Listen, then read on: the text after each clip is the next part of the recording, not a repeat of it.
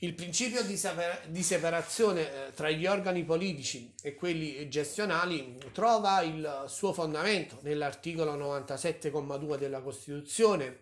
che eh, recita che i servizi pubblici sono organizzati per garantire il buon andamento e l'imparzialità dell'azione amministrativa, che richiama sostanzialmente anche l'articolo 1 della legge 24190, legge sulle nuove norme sul procedimento amministrativo e diritto di accesso agli atti in cui l'attività amministrativa eh, persegue i fini determinati dalla legge ed è retta dai criteri di economicità, di efficacia, di imparzialità, trasparenza e pubblicità. Nel nostro ordinamento giuridico, diciamo, la realizzazione del fine pubblico spetta agli organi eh, politici, agli organi di governo che eh, riferiti all'articolo 4 del decreto legislativo 165 del 2001, il TUPI, il testo unico sul lavoro delle dipendenze delle pubbliche amministrazioni, afferma che gli organi di governo sono organi di indirizzo e di controllo politico amministrativo. Basti pensare proprio al Consiglio Comunale, riferito all'articolo 42 del TUEL DLGS numero 267 del 2000, dove il Consiglio Comunale è un organo di indirizzo e di controllo politico amministrativo. Il Consiglio Comunale si occupa uh, dell'approvazione dello statuto e dei regolamenti comunali,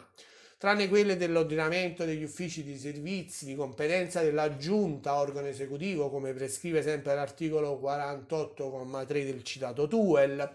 Poi uh, il Consiglio si occupa della gestione finanziaria dell'ente locale, approva secondo il ciclo il DUP, documento unico di programmazione. In successione, entro il 30 settembre, approva anche il bilancio consolidato introdotto dall'armonizzazione contabile, il DLGS 118 del 2011. Poi approva il bilancio di previsione,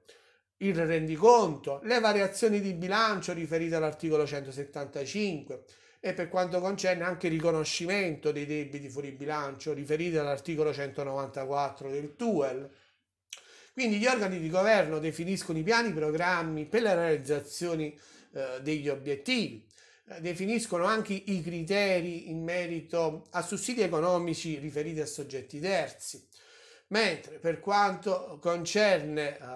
lo strumento tipico di separazione tra gli organi politici e quelli gestionali, è sicuramente il piano esecutivo di gestione che ex ante viene predisposto dall'organo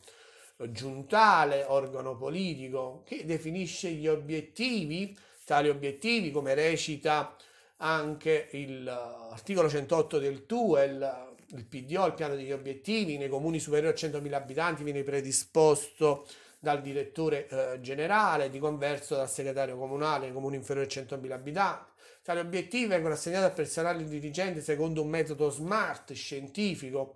uh, specifico, misurabile, cioè devo dare un valore al raggiungimento dell'obiettivo che si esprime in una percentuale numerica o in un tempo prestabilito durante l'esercizio finanziario.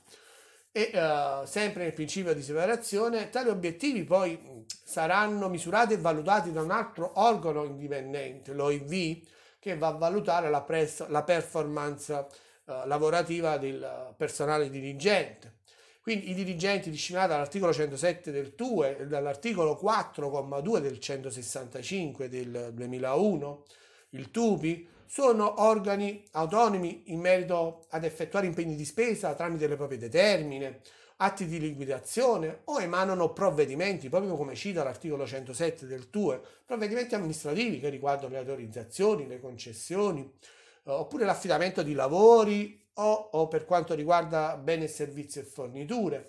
Quindi eh, possiamo affermare che ehm,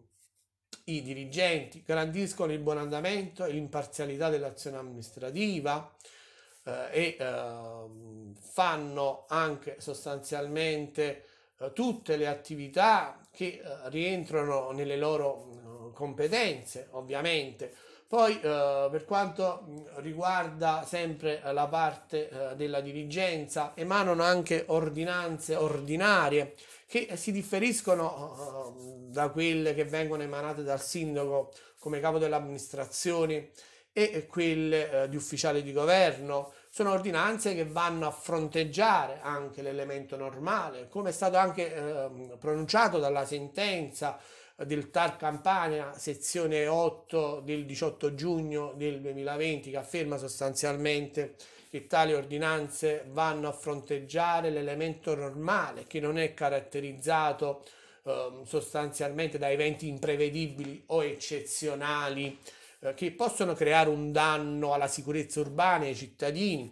Basti pensare alle ordinanze per la limitazione del traffico eh, stradale riferite al codice della strada e eh, per concludere anche le ordinanze in merito all'abbattimento e impristino di opere abusive. In conclusione possiamo affermare che eh, sia gli organi politici che quelli burocratici devono garantire ex ante il buon andamento e l'imparzialità dell'azione amministrativa.